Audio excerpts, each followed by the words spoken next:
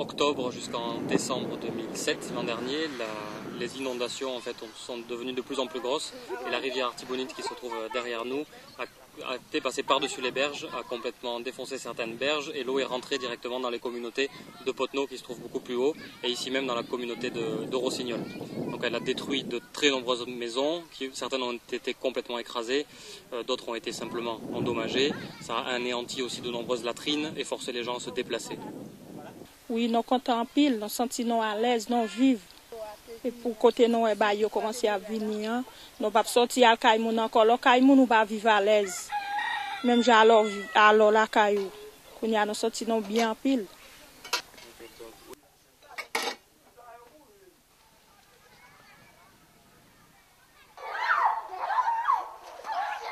Le programme euh, tel qu'Oxfam GB est en train de mettre en place maintenant est un programme qui est financé par l'UNICEF et par le DFID, donc le gouvernement anglais. C'est un programme qui concerne les localités de Potneau et de Rossignol dans la Grande Saline. Euh, il concerne donc plusieurs grands axes. Le premier, c'est la réhabilitation des berges de la rivière qui ont craqué et qui ont laissé l'eau rentrer au niveau des localités. Le deuxième grand axe concerne le curage des canaux d'irrigation avec des activités de cash for work, donc des activités à haute euh, densité de main-d'œuvre.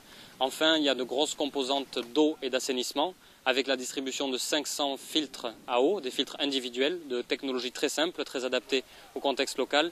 Et enfin, la construction de 300 latrines, elles aussi de construction assez simple et réplicable localement euh, pour permettre à faciliter, à réduire plutôt les, problèmes de santé publique au niveau de la communauté. Tout cela est couplé à des vastes campagnes de sensibilisation euh, et de promotion de la santé publique au niveau directement familial.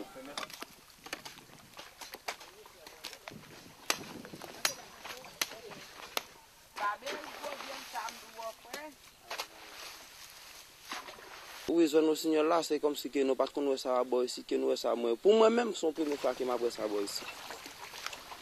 E ki santi ki santi ou e peye pou nan kominote? Bon, ke ki yon santi, kom santi sa bien mache.